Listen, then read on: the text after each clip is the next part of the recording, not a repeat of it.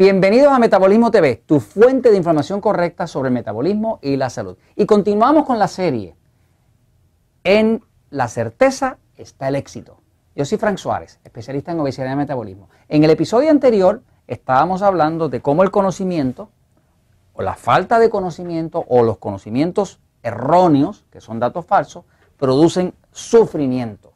Ahora vamos a continuar y en esta vamos a hablar de metabolismo 101. Es el básico del metabolismo. ¿Qué es el metabolismo? ¿Cómo es que funciona esta tecnología? Me voy a ir bien, bien básico para que lo entiendas porque si lo entiendes bien, bien, bien, es seguro que vas a tener éxito. Mira, mira cómo funciona. Fíjate. Eh, es una secuencia. Metabolismo. La palabra metabolismo ya sabemos que sale del término meta, del griego, que quiere decir movimiento. Así que el metabolismo tiene que ver con movimiento. Pero ¿dónde empieza? Todo empieza con que una persona tenga la intención.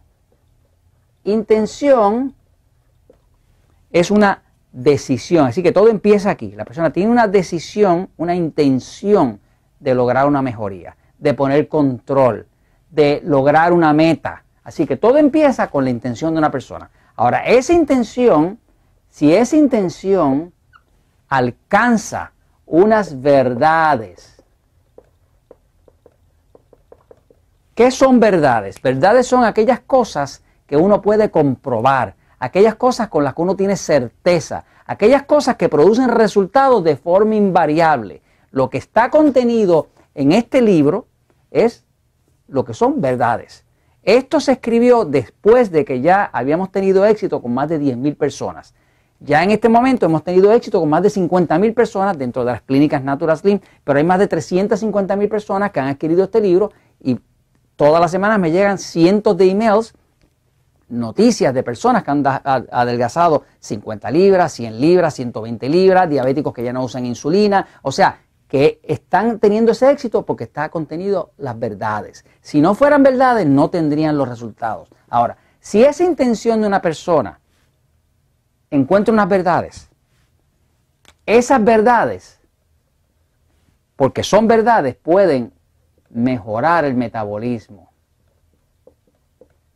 Si la persona, por el contrario, tiene la intención de adelgazar, de mejorar su salud, de controlar su diabetes, de recobrar su energía, pero cuando aplica esa intención encuentra una mentira, productos milagrosos, TC chino, gotitas HCG, fajas milagrosas, cosas que, son mentiras, pues no va a poder afectar de forma positiva el metabolismo, porque las mentiras no funcionan.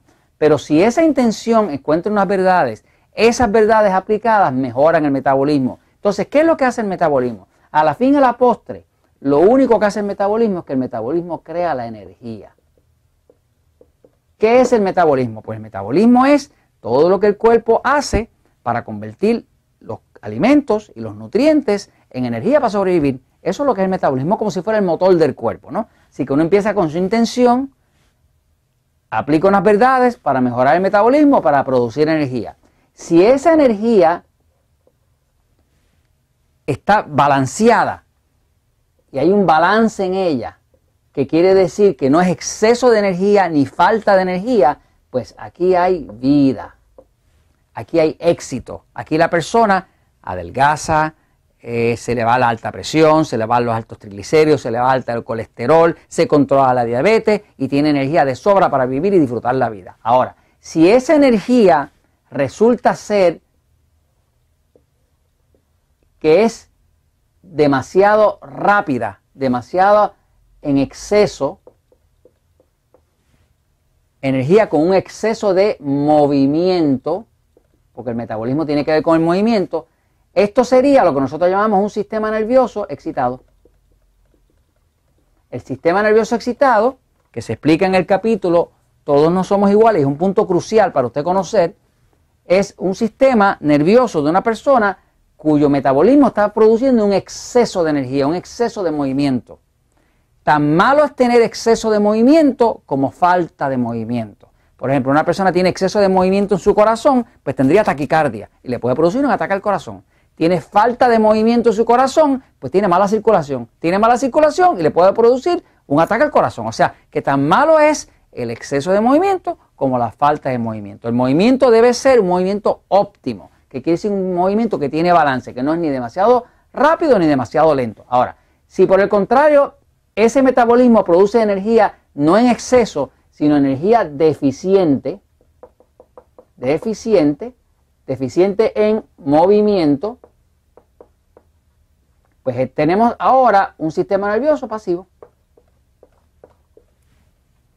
El sistema nervioso excitado es un sistema nervioso cuyo metabolismo está creando un exceso de movimiento. El sistema nervioso pasivo es un metabolismo cuyo sistema nervioso está siendo afectado por una deficiencia de movimiento, hay falta de movimiento.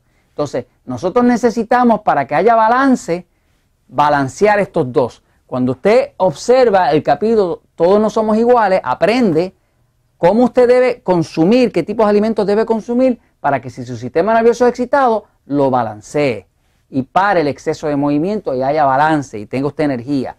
Pero si su sistema nervioso es pasivo, como el mío, pues entonces usted le mete carne roja, sal, más grasa y automáticamente lo puede balancear, ¿no?